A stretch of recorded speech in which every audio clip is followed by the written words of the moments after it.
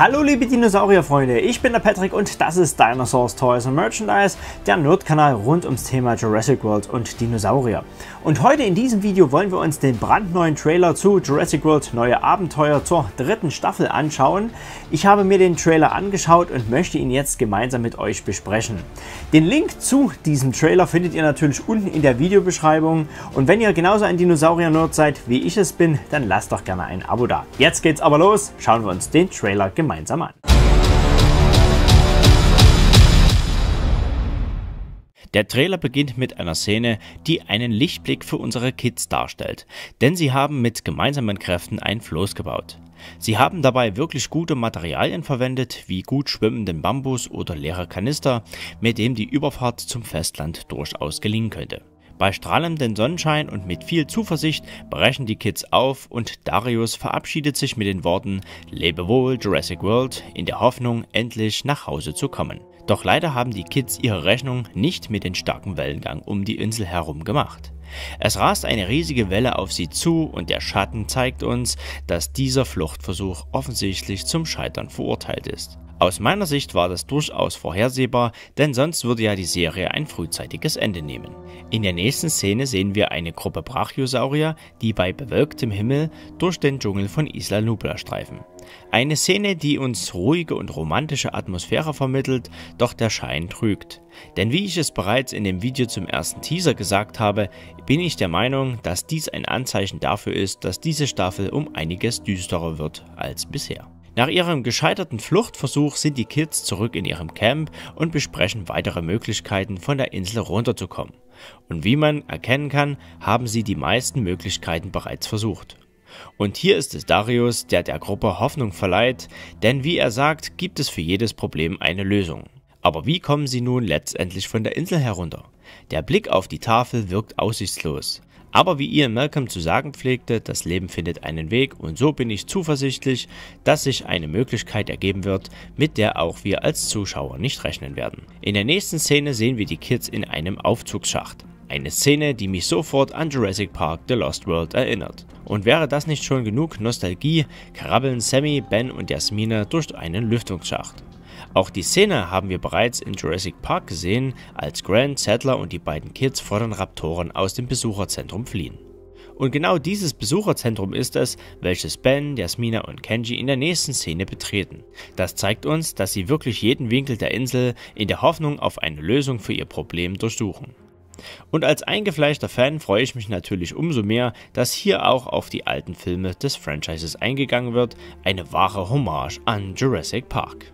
Auf ihrer Suche treffen Ben, Jasmina und Sammy auf einen neuen Dinosaurier im Jurassic World Universum, den Monolophosaurus. Dass dieser in der neuen Staffel vorkommt, wurde bereits durch die neuen Mattel-Figuren geleakt, da Kenji mit einem Monolophosaurus als Spielset daherkommt. Wo sich die Kids allerdings genau befinden, darüber lässt sich nur spekulieren. Der Ausstattung des Flures zufolge müsste es eine Unterkunft oder ein Hotel sein. Was denkt ihr? In der nächsten Szene betreten Brooklyn und Sammy das Tunnelsystem und auch diese Kameraeinstellung erinnert wiederum an Jurassic Park, wo Dr. Ellie Sattler den Bunker betritt. Im Tunnelsystem treffen die beiden auf die zerstörte Brutkammer bzw. die Eingangstür zum Raum E750, der Brutstätte von Dr. Henry Wus kleinen Geheimnis. Brooklyn findet auf einem PC geheime Videoblogs, in dem Dr. Wu von seinen Arbeiten berichtet. Anschließend sehen wir den Bruttank von E750 sowie ein Bild der Überwachungskamera dieses geheimen Raumes. Und jetzt wird es spannend. Direkt danach sehen wir Dr. Henry Wu selbst, der offensichtlich in einer Art Livestream darüber berichtet, dass sein Nebenprojekt E750 extrem aggressiv ist. Im gleichen Augenblick des Videoberichts wird Dr. Wu von etwas überrascht. Ich habe hier mal das passende Standbild aus dieser Szene herausgearbeitet und bei genauerem Hinsehen kann man die roten Augen von E750 erkennen, die wir bereits im Teaser gesehen haben. Aber wie kann Wu über das Verhalten von E750 berichten, obwohl es gerade erst ausgebrochen ist? Rein theoretisch müsste Dr. Wu die Insel doch schon längst verlassen haben. Bedeutet das wohl möglich, dass Wu sich noch auf der Insel aufhält? Es bleibt spannend. Trotz der geheimnisvollen Spannung, die der Trailer für uns bereithält, werden auch romantische Jurassic Park Szenen wie diese Gallimimus-Herde gezeigt. Hier ist auch Darius zu sehen, der offensichtlich weiterhin seine Beobachtung verfolgt und dokumentiert. In der nächsten Szene hat erstmals auch Owens Velociraptor-Dame Blue wieder einen richtigen Auftritt in der Serie. Sie ist offensichtlich gerade etwas verärgert über die Anwesenheit von Kenji und Jasmina, die in einem G-Klasse Mercedes unterwegs sind. Ich bin sehr gespannt, ob Blue in dieser Staffel eine größere Rolle spielt oder wieder nur am Rande der Serie gezeigt wird. Einen sehr imposanten Auftritt hat auf jeden Fall Jasmina, die ihre Sportlichkeit dazu nutzt, um in einem Sprint eine Bodensenke zu überspringen. Warum sie ganz allein nachts durch den Dschungel rennt, kann ich mir allerdings nicht so richtig erklären. Vielleicht nutzen die Kids ihre Sportlichkeit für ein Ablenkungsmanöver?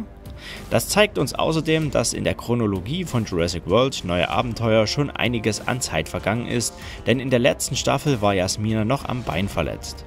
Auch bei den anderen Kids zeigen sich Veränderungen. So kann man sehen, dass bei Darius zum Beispiel die Haare allmählich länger werden und auch bei Brooklyn sieht man den Haaransatz, der ihre richtige Haarfarbe zum Vorschein bringt. In dieser Staffel spielen auch die Dimorphodon eine größere Rolle, da Brooklyn und Jasmina mit einem Fluggerät von einer Gruppe Dimorphodon verfolgt wird.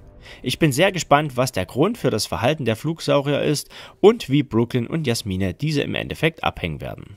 Im letzten Teil des Trailers wird es wirklich düster, denn hier kommt der neue Antagonist E750 ins Spiel und tyrannisiert unsere sechs Teenager.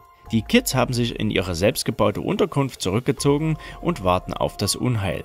Und das bringt mich nochmal dazu zu sagen, dass es sich hierbei immer noch um eine Serie handelt, die für Kinder gemacht ist und die ab 6 Jahren freigegeben ist.